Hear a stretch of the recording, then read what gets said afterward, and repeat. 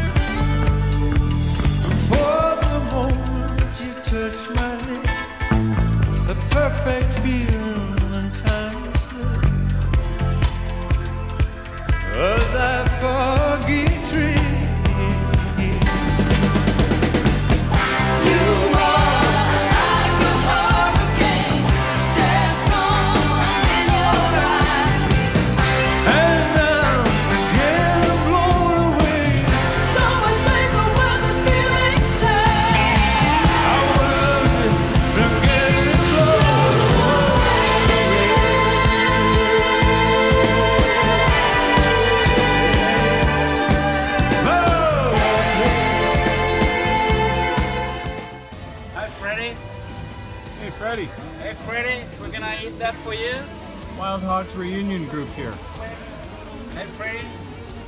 including your buddy the Moocher. Oh yeah, so check. Most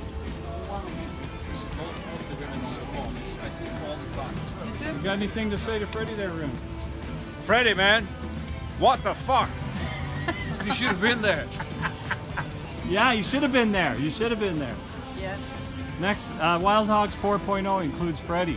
Freddy's gonna Awesome. come. Freddie's Yes. in Wild Hogs 4.0. And this is Yeah.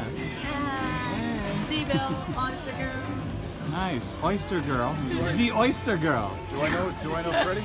Freddie's Trishan's brother. Uh, Oh, did he come and play hockey with us? he did. He played did? hockey Oh, with us. remember We love that. I remember Fred. Yeah. I remember. Hey Yeah. Fred, good news.